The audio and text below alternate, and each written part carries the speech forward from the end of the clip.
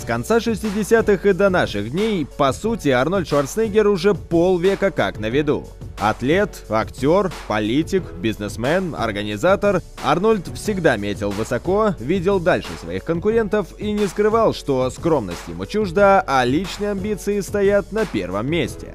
Своем новом материале о лучших культуристах прошлого я вспомню все Олимпии Арнольда и опишу те годы, когда решительность, хитрость и бескомпромиссность Шварценеггера только закалялись в борьбе с другими атлетами золотой эры. Спонсор выпуска – Генофарм. Выбор чемпионов.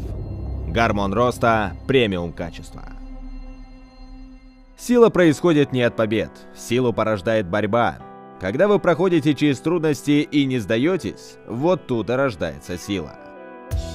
Эти слова Арнольда пронизаны его жизненным опытом первых лет в мире культуризма. Шварценеггер сходу обрел опытного и генетически одаренного соперника в лице Серджио Олива и спустя годы стал сильнее физически и морально во многом за счет борьбы с на тот момент действующим мистером Олимпия. Серджио тренировался даже тяжелее, чем я. У него была полноценная работа на сталелитейном заводе, и после долгих смен в жаре печей он каждый раз отправлялся в тренажерный зал, где часами выкладывался изо всех сил. Олива был одним из тех парней, которых не так и легко измотать. Каждый день, начиная свою тренировочную программу, он выполнял 10 сетов по 20 подтягиваний. Понимаете, это была не тренировка спины, просто разминка. И так каждый день. Арнольд против Серджио. Ту дуэль современники называли «столкновение непоколебимой твердыни с непреодолимой силой». Первый раунд их противостояния пришелся на 1969 год. Серджио к тому моменту был уже двукратным мистером Олимпия, а Арнольд в том же году взял титул «Мистер Вселенная».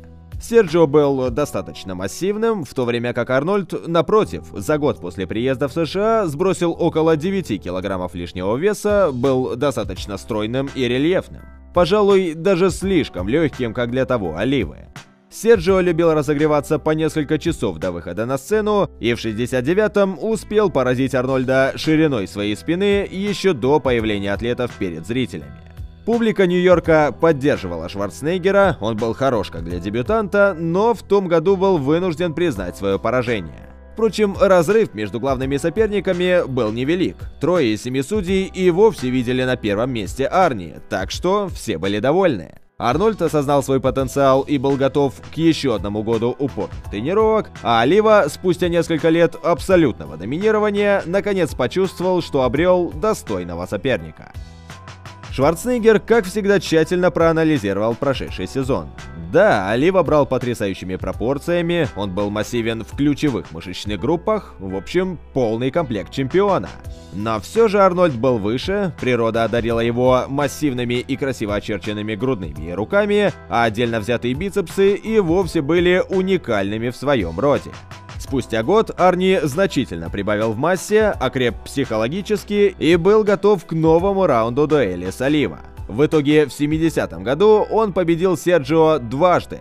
Для начала на турнире Мистер Мир, где Олива переборчил с маслом, а потому под яркими софитами смотрелся уж слишком гладким. Уже после соревнований Арнольд отдал должное сопернику, но хитро подметил, что, будь тот на 5 кило тяжелее, победа бы точно досталась ему. Расчет Шварценеггера оказался верным. Шокированный поражением дерзкому австрийцу, Олива последние две недели перед Олимпией старался набрать максимум массы, чтобы взять свое, прежде всего, объемами. Еще и на самом турнире Серджио решил погнаться за двумя зайцами и заодно побороться за титул Мистер Америка, тем самым лишив других участников турнира каких-либо надежд на борьбу за трофей. Ситуация грозила бойкотом и срывом соревнований, так что в итоге Оливу уговорили довольствоваться почетным титулом и сосредоточиться на Олимпии. На том и сошлись, но осадок после неприятного инцидента с Серджио все же остался. В итоге все факторы были против действующего чемпиона. Он был недостаточно рельефным из-за форсированного набора массы, накалил ситуацию вокруг самого турнира, плюс еще и проиграл Арнольду в психологической схватке на самой сцене. Эту историю слышал чуть ли не каждый.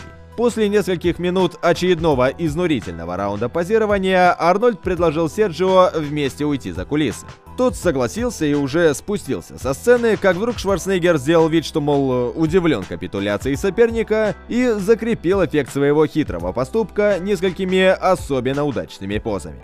Это была уже вторая победа Арнольда над Оливой и его первый титул Мистера Олимпия. Арнольд доминировал по форме, в плане психологии и был готов творить историю. Украшением следующей Олимпии 71 года обещал стать реванш Оливы, который тоже был не лыком шит в плане эмоционального воздействия на соперников. На той подготовке он был как никогда массивным и объемным, и летом отправил письмо Арнольду.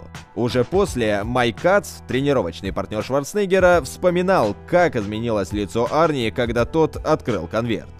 Он сказал, вот же сукин сын, этого не может быть на самом деле, это фотомонтаж.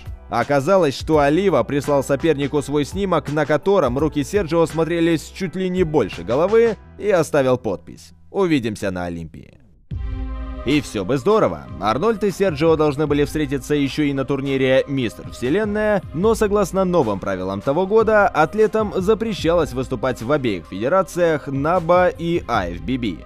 Олива решил сделать ставку на Мистер Вселенная при НАБА, но уступил Биллу Перлу, плюс еще и получил запрет на участие в Олимпии. Такая же судьба постигла Франка Коломбо и Роя Каллендера, а Арнольд, пусть и раздосадованный пропуском Мистер Вселенная, продемонстрировал прогресс по форме и, будучи единственным участником Олимпии в Париже, автоматически взял уже второй титул. А вот в 72 году дуэль лидеров тех времен состоялась и до сих пор считается одной из самых спорных в истории. Та Олимпия проходила в Германии, стране Арнольда, как после отмечал Зейн, и компанию лидером составили сам Фрэнк, Серж Нюбре и Франко Коломбо. Отмечу, что в том году Олива, как всегда невероятно массивный, посвятил всего себя созданию идеальной формы и готовился исправить огрехи с рельефом. В то время как Шварценеггер на гостевом позировании незадолго до главного турнира показал отнюдь не лучшие кондиции. Но Арнольд в очередной раз взял находчивостью. Он помог организаторам Олимпии найти сцену для проведения турнира, но при этом подбирал ее специально, чтобы на фоне задника смотреться эффектнее Оливы. Это было важно, чтобы произвести эффект не только на судей, но и на местную публику, которая, конечно, поддерживала Арнольда. Но даже эти хитрости не отменяли шикарную форму Серджио на том турнире, который невероятно смотрелся в своей фирменной позе мифа. После первых раундов турнира Олива явно перехватил внимание публики и заявил о себе как о фаворите. Арнольд, разумеется, тоже не сдавался. Его козыри были по-прежнему при нем, плюс Арни брал поведением на сцене, в частности, особенно удачными позами в развороте на три четверти. И все же Олива был очень хорош, овации публики это только подтверждали, и к моменту награждения Серджио был уверен, что вернет себе титул. Стоит ли говорить, насколько он был раздосадован, когда ему досталось второе место после Арнольда? Очевидно, разрыв был минимальным, но главное, за счет чего он образовался. В те годы при подсчете голосов еще не отбрасывались самая высокая и низкая оценки, и Оливу, который очевидно был как минимум в топ-2, тот же судья из Польши в своем протоколе поставил аж четвертым. В итоге Арнольд получил больше голосов за первое место. 11 баллов против 15, и Шварценеггер праздновал уже третью подряд победу на Олимпии. Говорят, что даже удачные снимки тех времен не передают, насколько был хорош Олива в том самом 72-м. Но 45 лет спустя в наших силах только констатировать. При невероятно упорной борьбе Арнольд продолжил свою победную серию. Последующие три Олимпии прошли в рамках борьбы Арнольда Шварценеггера Сержем Нюбре и Лу Ферриньо в категории тяжеловесов и Франко Коломбо в абсолютной категории. В те годы Арнольд при содействии IFBB всячески содействовал популяризации бодибилдинга, ну и, разумеется, себя самого. Программа включала в себя различные семинары, в том числе и в тюрьмах, лекции, встречи с поклонниками бодибилдинга и, напротив, далекими от него людьми, публичные позирования, ну и, конечно, съемки фильма «Качая железо», который впоследствии вдохновил миллионы людей на тренировки с дополнительными весами и попадал в различные рейтинги лучших документальных драм в истории. А сам Арнольд, наряду с другими атлетами, делился методами тренинга, личными и просто забавными моментами.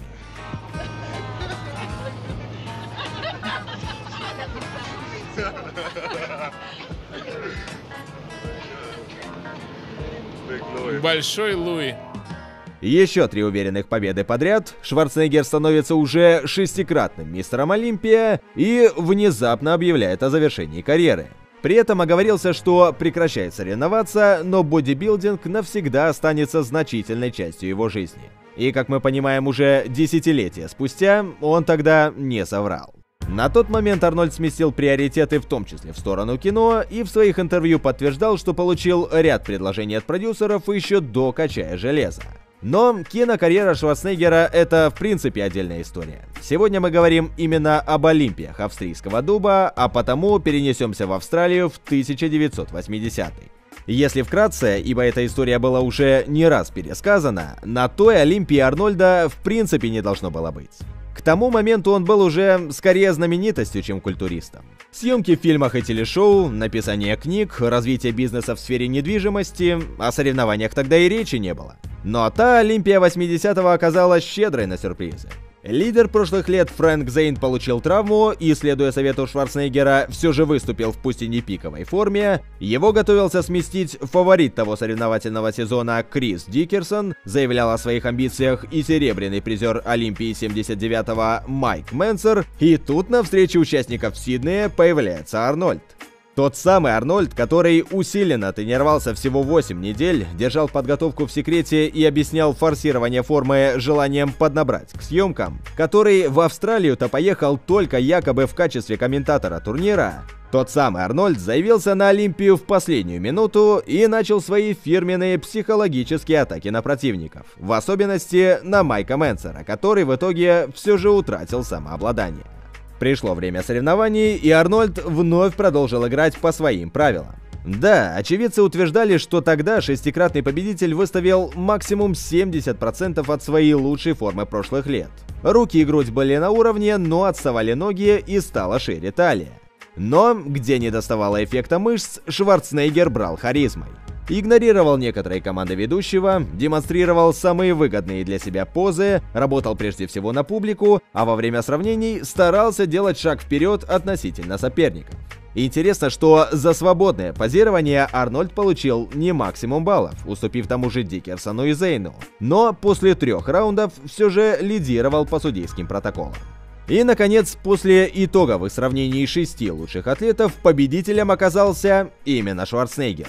Менсер был взбешен, Дикерсон поверить не мог во второе место, из зрительного зала доносился свист, параллельно шли разговоры о том, как много друзей Арнольда было среди судей, Билл Перл и Самир Бану подтверждали, что триумфатор скорее заслуживал пятого места, но это все детали, по мнению многих, одного из самых спорных турниров в истории бодибилдинга. На деле же, как по мне, лучше всех ситуацию описал Джордж Батлер, режиссер фильма «Качая железо». Арнольда отличает качество, которое позволяет ему держаться особняком от других участников. Даже когда он не в лучшей форме, он все равно лучший.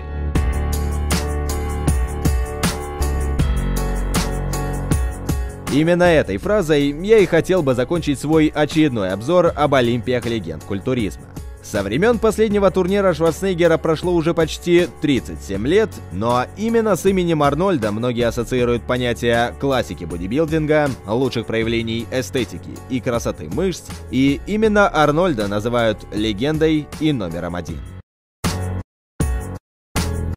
Со своей стороны, прошу вас также поделиться своим мнением в комментариях, а кроме того, напоминаю о других эпизодах, которые вы также можете посмотреть в отдельном плейлисте на моем канале.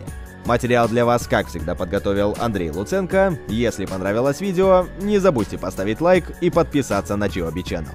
Впереди много новых материалов о силовых видах спорта и не только.